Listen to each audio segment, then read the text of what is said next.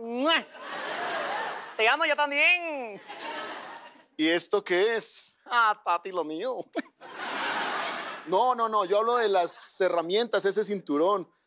Bueno. Por eso es que lo mío ahora es la carpintería, papá. Qué linda. Señorita, ¿cómo se llama usted?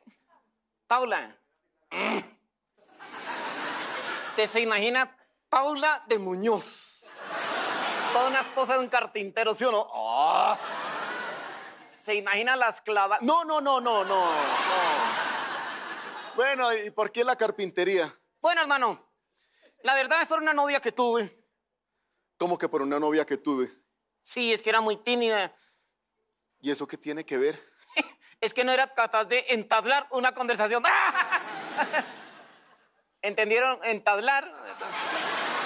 Ah, ustedes no la cogen. Tampoco. Oigan, me dice mi novia el otro día. Me voy donde un cirujano para que me pongan el techo así. Ah. Y le digo yo, no creo que te sirva, mi amor. Porque los cirujanos no saben nada de carpintería. Es que parece una tabla. No, Tato. No, pues, qué novio. No, pues, qué gran novio. ¿Será que este es buen marido? Telota, cállese. Ya. A ver, público. ¿Están atentos? Sí. ¿Ustedes saben cuál es el colmo de un carpintero? No.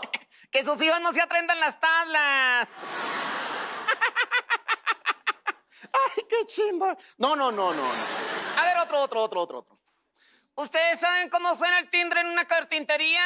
No. Pues hace rin. hace rin lo de hacer. Ay, dejen así. Oh, ya. Oiga, Jorge. Señor. Ahora estoy vendiendo muebles. Ah, pero entonces el negocio anda súper bien. No, no. Su Ternator, que los que estoy vendiendo son los míos, güey. El otro día me llega una señora todavía casilla y me dice, ¡ay, qué muebles tan lindos! ¿De qué época son? Le digo yo, de la época en que tenía plata y fue madre.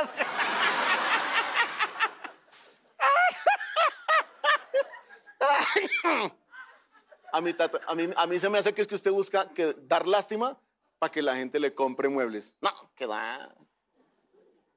Calle la jeta que está funcionando. Oiga, con un amigo pusimos un negocio. Eh, mi amigo puso la plata, yo puse mi trabajo, mi talento.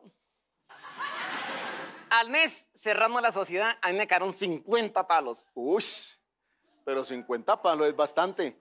¡Ja, pelota! Era una fábrica de escobas.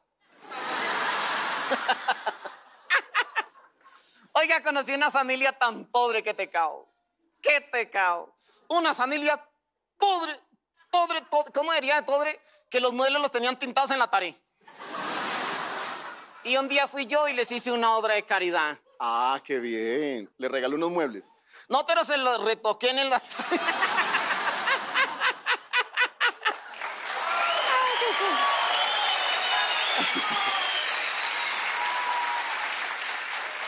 y de malas también. Porque tras de que los tenían tintados en la pared y entraron los ladrones y se los llevaron. ¡Uy, no. Oigan, y me doy que se nos quemó la fábrica. Ah.